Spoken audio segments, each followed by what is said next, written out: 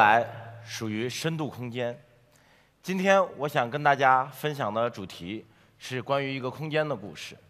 在我们每个人脑中都有对空间和对几何的概念。那么我们认为的空间，真的是我们生活在的空间里面吗？那么今天我们打开这个空间之谜，在我们穿梭空间的故事的时候，我想先向大家介绍三位男士。第一位男士，他的名字叫黎曼，可能或许在座的很多朋友并不熟悉这位天才数学家。黎曼在他的脑海中构造了一个与我们完全不同的空间。那么这样子的一个几何和空间，到底是什么样子的呢？我们可以看一下，千百年来，我们认为的空间是平面的，我们都接受欧几里得的几何学。平行线永远不可能相交，三角形是由三条直线所组成的一个形状，它的内角和相加永远等于一百八十度。可就在一百六十年前，黎曼告诉我们，或许整个几何学还有全新的一个定义。那么，当曲面变，当我们的空间变成了曲面，我们这个三角形的内角和不再等于一百八十度，它等于一百八十三点二八度。我们的平行线有可能有交点，我们所有的几何和空间，我们的认知都会发生非常大的变化。那么这个故事仍然没有结束，第二位男人出现了，大家可能会很熟悉，他的名字叫做爱因斯坦。爱因斯坦在一百年前发现，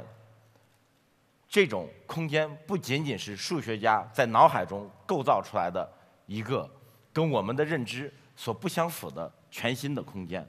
而且，爱因斯坦在他的相对论里边告诉我们，竟然我们从来没有生活在我们所认为的那个平面的空间里边。我们生活的空间实际上是扭曲的，是曲面的。我们看一看广义相对论到底告诉了我们什么？实际上，所有的空间、时空都是被所有的物质、质量、重量所扭曲。我们知道，当这束光照在我身上的时候，由于我自己身体的重量，这束光实际上已经发生了扭曲。只不过，光自己它不知道，我们也不知道。我们仍然认为我们生活在一个均匀的平面的空间里边，但实际上我们的空间已经被扭曲了。那么，这种扭曲的空间是在非常浩瀚的宇宙中、非常广阔的天地中，天文学家们用非常多的观测证实了这种质量。对时空的扭曲的事实，那么我们可能就会问，这个事情到底跟我们每一个在这里生活的人有什么样的关系？那么这个时候，我就想向大家介绍第三位在这个领域做出卓越贡献的男士。这个人大家可能会更加熟悉，他的名字叫做哈利波特。哈利波特是一个非常励志的。青年男子，并且他现在身上穿着着一件是在我们生活空间中对空间进行扭曲的衣服。这个这件衣服叫做哈利波特的隐身衣。我们看到他的身体，实际上我们并不能看到他本人，而是看到了他身后的光线绕过他的身体来到我们的面前。那么在生活空间中，这样子的一个空间的扭曲。就可以使得我们让哈利波特的这样的一个隐身衣变成了现实，但比较重要的事情是，就在这十多年来，科学家们不懈的探索和努力，虽然在自然界中没有找到隐身衣这样子的材料和物质，在这么小范围就可以改变空间、扭曲空间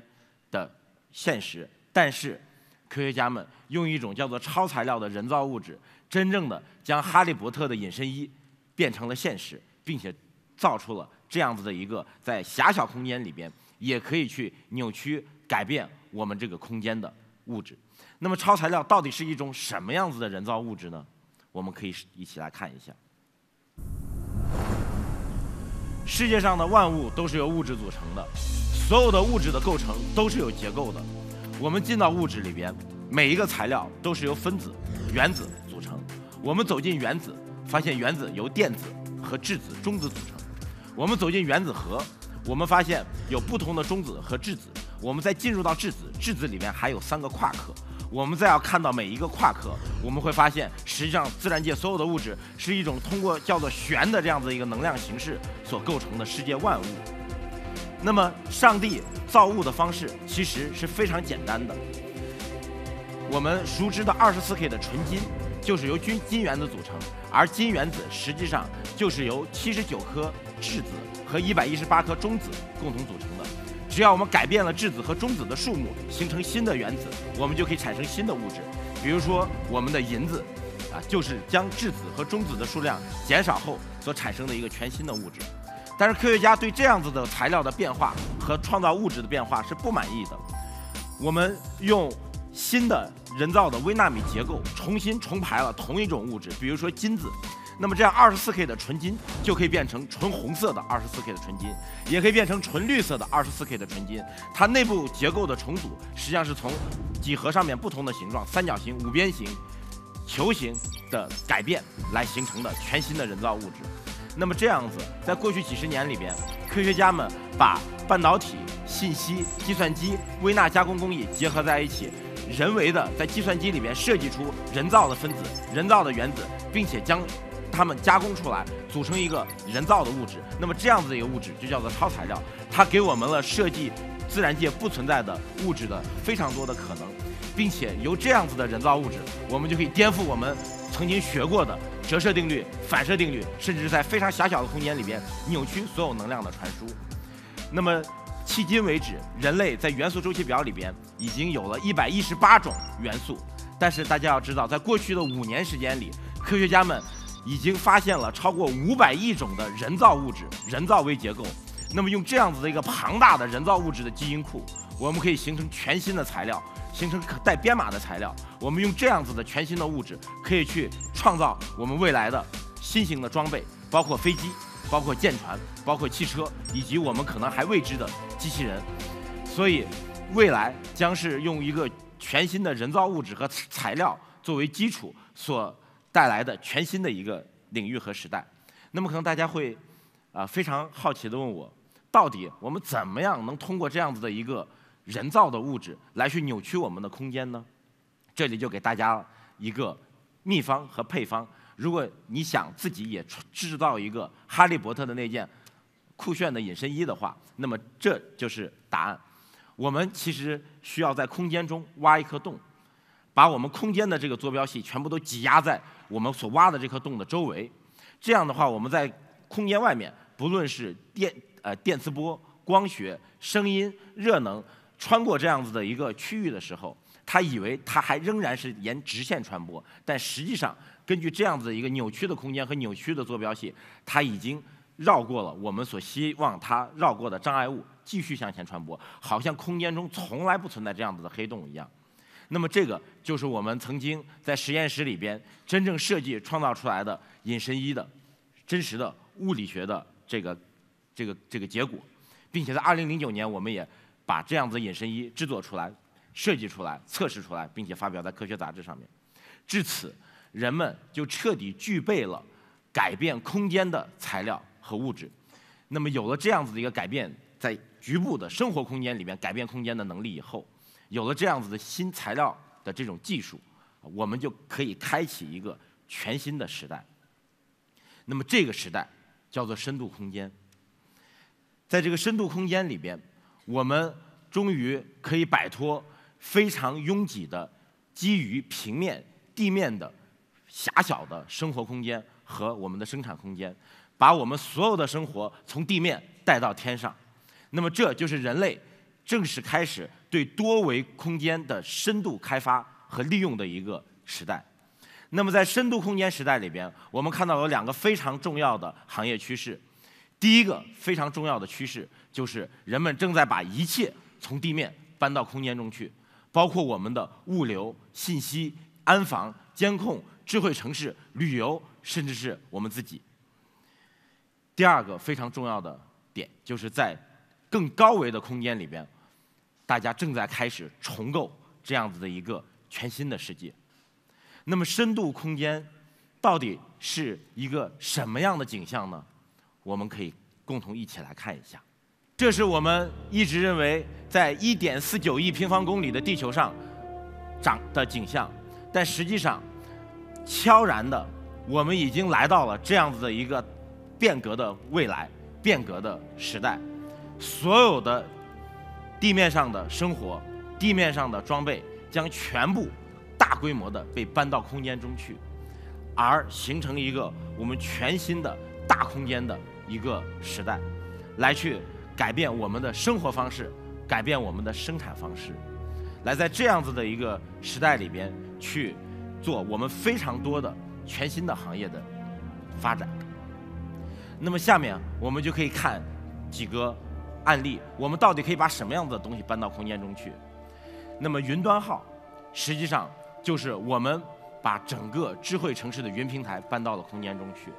这是一个真正在云层之上的云平台，它可以搭载四百公斤到一吨的任务载荷，在天空中，在一个城市上空去掌管整个城市的智慧安防的各种功能。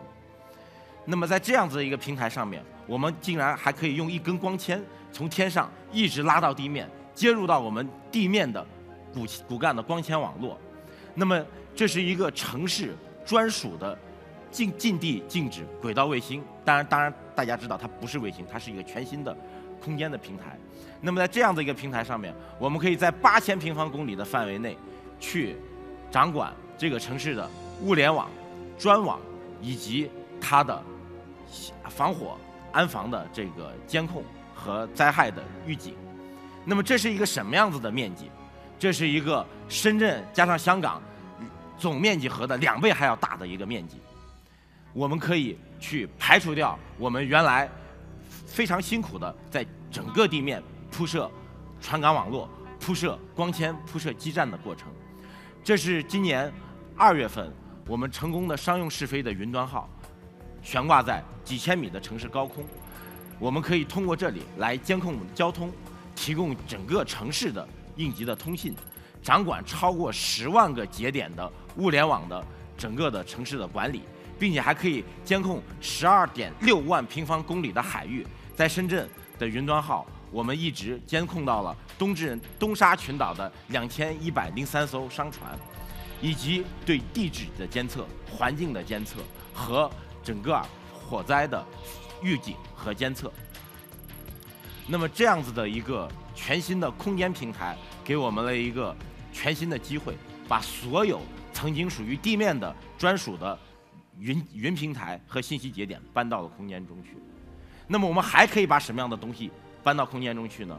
我们现在看到的这个是临近空间飞行平台旅行者号。旅行者号是由一个巨大的囊体加上任务载荷。和能源动力所组成的全新型的临近空间飞行飞行器，那么这个囊体有多大？它是四十米的直径，是我背后这个屏幕的两倍的尺寸，相当于是一个十层楼高的庞然大物。那么这么一个庞然大物将会从地面直接升至两万米以上的高空，进入到临临近空间。这是一个非常神秘的区域，因为它是人类大气层的边缘。那么在这样的一个空间里边，没有了风雪。没有了雷电，而且全球全年的温度都恒定在零下的五十五十六摄氏度。那么在这样的一个呃空间里边，给我们了非常多的机遇和机会，去开发全新的曾经在地面上的应用。在今年的六月六日凌晨五点十九分，我们已经成功的把我们的旅行者一号送至了距离地面地球表面二十一公里的临近空间。这个是从新西兰南岛上空。飞行的轨迹，我们监控了多达六十万平方公里的海域，以及做了非常多的通信载荷的任务，以及得到了非常难能可贵的在临近空间的珍贵的海量的数据。这些数据包括了在临近空间的太阳能的获取效率，包括在临近空间的随高度不同变化的风速的变化，我们飞行器的变化，环环境温度的变化，这些都是从临近空间拍拍摄下来的第一缕日出的这个。景象，那么旅行者二号将是一个载人的旅行者号，它将使得我们每一个普通人像坐乘坐太空电梯一样的去到临近空间观看宇宙，并且安全的返回。那么我们还可以把什么样子的东西搬到空间中去？对，我们可以把我们的眼睛搬到空间中去。那么下面我想给大家举的这个例子就是 U1 空间悬浮站。现在大家都非常喜欢用无人机来进行航拍，但是无人机进行航拍，实际上我也很喜欢，但有一个很大的担心，就是它的每一次电池的能源只能供我们飞行十五分钟到三十分钟。我们还没有飞多远，我们就必须得把飞机招回来。那么这个 U1 的空间悬浮站实际上是利用了浮力、利用了气动设计、利用了新能源的混合动力来进行在长时间在空间中驻空的一个全新的空间的监控平台。它可以在空间驻空超过十个小时。那么我们把这样子的一个空间悬浮站派到我们的景区、派到自然保护区，甚至是派到我们的整个的城市的交通，我们就可以用这样子的一个可以从天亮到天黑都驻留在空间的这么一个平台，来把我们的这双眼睛带到我们整个城市里边，使得我们的生活更加的便捷、更加的安全，甚至还可以把它派到海海上去执行非常多的海上的任务。那么好。我们把这么多的信息节点眼睛带到了空间，我们还能把什么东西搬到空间去？对，这一次我们准备把我们自己搬到空间去，这就是可以实现我们在座各位每一个人儿时梦想的钢铁侠飞行包。那么，你走进这个飞行包，带上穿上安全带，用左手控制飞翔波飞飞行包的起降，右手控制飞行包的方向，你就可以像钢铁侠一样的。在一千五百米以内的高度，随意的飞行，自由的飞行。那么这样子的一个飞行包，为了使得每一个普通人都能享受到个人飞行时代的到来，我们不需要大家去加航空燃油，只需要去路边去加九十七号、九十八号汽车的汽油。那么我们可以想象一下，在未来的交通领域里边，我们将不用在痛苦于路面的、地面的非常拥挤的交通，我们可以充分的利用我们的立体的空间交通，来去这个进行从楼顶到楼顶 top to top 的这样子的一个城市交通微循环的一个体系。在全世界各地，每一年都会有非常多的自然灾害，我们可以想象一下，在这样子的。情景里边，如果有这么一个钢铁侠的飞行包，可以从天而降，去挽救我们每一个人的生命，那么将是一个多么好的一个时代的到来。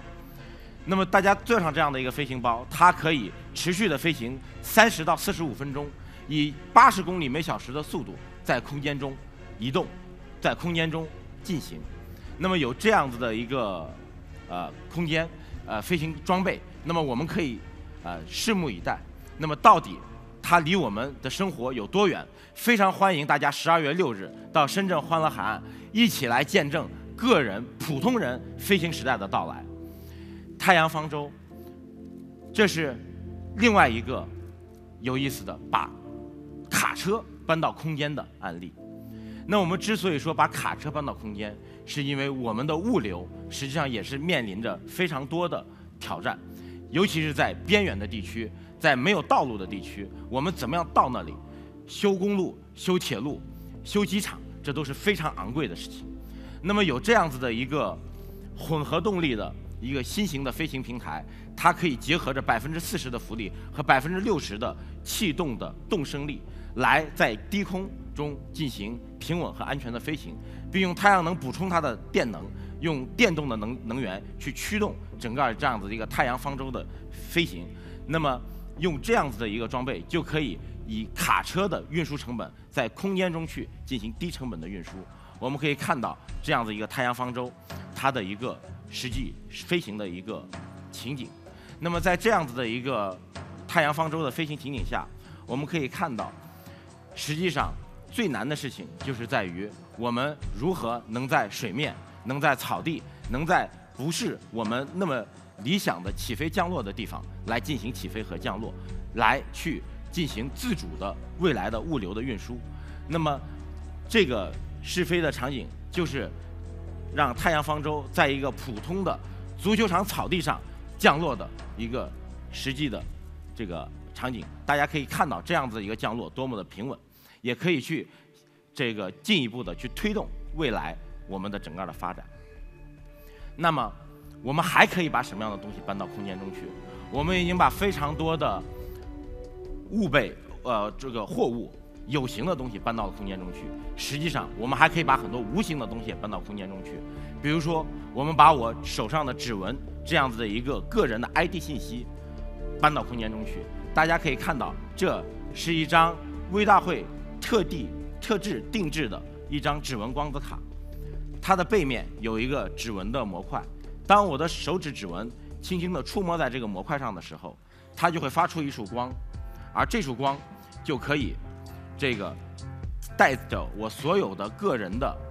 激光的信息打到空间中去。我们用这样子的一束光就可以去打开停车场，用这样的一束光，我们就可以去过安全的道闸。用这样的一束光，我们可以每天上班的时候用。一这个安全的这个方式进入到我们的办公室，而且大家还可以用自己手机里边闪出来的一束光来去回家，来去做安全的认证。我们也与平安银行今年正式上线了，用手机的一束光就可以进行支付、进行消费、进行各种安全认证，以及我们用一束光可以在 ATM 上面把现金取出来。那么未来人类将会在月球建立基地，那么。我们也可以用一束光来去打开月球上的一扇门。